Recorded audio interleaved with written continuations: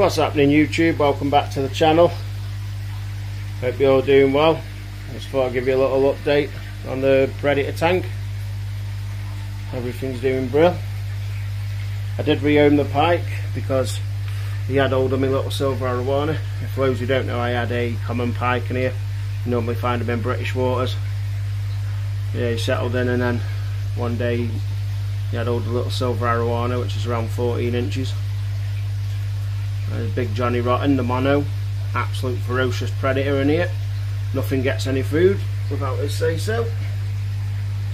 Absolute beast. Well, easily 18 inches. He's a good, I bet he's a good 50 mil wide as well, from eye to eye. Flagtail's putting some size on. say they're all, they're all getting big now, and in all fairness, I feel a bit cruel, so I am going to pull my finger out and get the extension built and then I'm going to give them a pool pond around about 3 metres long by 2 metres wide by about 700 mil deep. So yeah there's a big old sail fin at the back. You see him? He's well over a foot long he is absolute beast. Like I say you can't tell on camera. Yeah on the other hand um, everything's doing well in here in the 450 so as you don't know we've got two ornate bichirs platinum bichir, a red-tailed catfish, a tiger shovel-nosed catfish. We also have a ripsaw catfish there as well. Two clown knives, a royal one and a spotted one. Two Orinoco peacock bass. These are putting some size on now. They've had a bit of a growth spurt. On the other hand, I'm on a fish ban. I'm not allowed to buy any more fish. So it's absolutely killing me not being able to put anything in the 300 litre.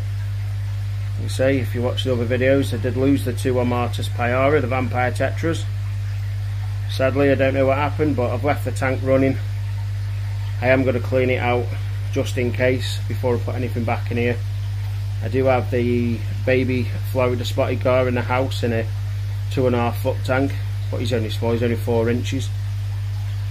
So hopefully get him here someday this week. Yeah, it is hard having a 300 litre tank and you can't put anything in it yet, so we'll get that sorted. The other the turtles are doing brilliant.